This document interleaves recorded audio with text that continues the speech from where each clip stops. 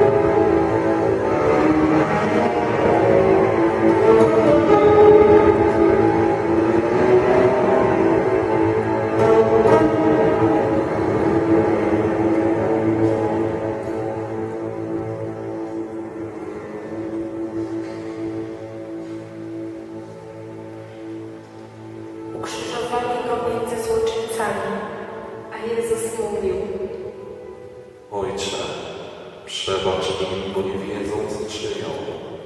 Nic nie zdoła nas odłączyć od miłości Boga, która jest w Chrystusie, Jezusie Panu naszym. A potem przyszło twarde drzewo krzyża, zardzewiałe gwoździe i ciężki młot. W ten sposób dopełniła się ofiara Przyjął ten ból dobrowolnie.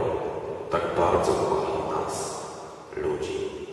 Tak wielce miłował Ojca. Otwórz nam oczy, Panie, na rzeczy trudne